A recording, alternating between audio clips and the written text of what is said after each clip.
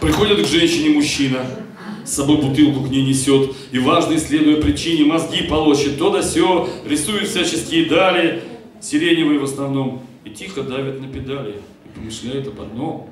Он деву бедную пужает, потом напротив веселит, и на коленочки сажает, и с ней отчаянно шалит, потом ракетой взовьется до самых этих облаков. А после к стенке отвернется и захрапит себе легко. И забывает про напевы и про декзаметров игру, и наплевать ему на деву, как, впрочем, и на все вокруг. А дева бедная устала, грустит о выбранной судьбе, пытаясь тщетно одеяло из-под него стащить к себе. Зачем нам этот курс стагнации, ведущий в кризисный разгул? Не бойся, милая, отдаться, я спать потом ведь не могу. Все.